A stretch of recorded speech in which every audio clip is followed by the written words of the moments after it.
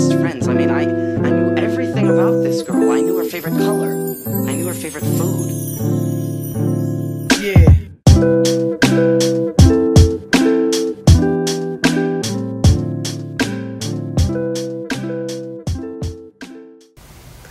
Hello guys, I'm Kiko and welcome back to Tommy Girl. So you may have noticed that this is a very different display from my usual setup because today I'm filming a very different video. It's gonna be more about my hair. I've decided to show you guys how I trim and cut my bangs. Um, a lot of people have been asking me how I cut my bangs because I did cut them myself. I know that my hair and my face is not looking really good right now. Um, that's because I need to cut my hair and my face I just didn't really have time to fix it this morning so so just a disclaimer this is not a tutorial um, this is more like a chit chat. Not get ready with me but like chit chat. Let's cut my hair together. I'm, I really don't know how to cut hair. Like I just cut it until I find that it looks good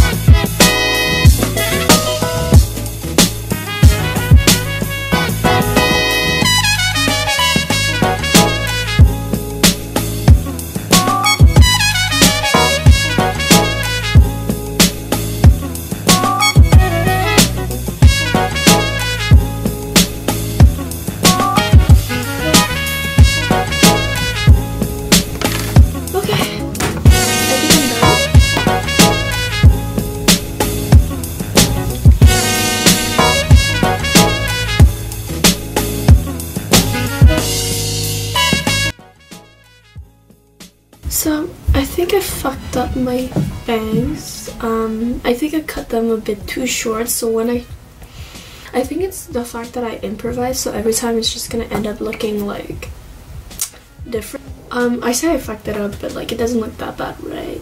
But if you guys want to know how I curl my bangs, because I do curl them in like several different ways, comment down below or just give a thumbs up to this video so I know that you guys want to see how I curl my bangs, and I will eventually film that that video because it's really easy to like curl. Yeah.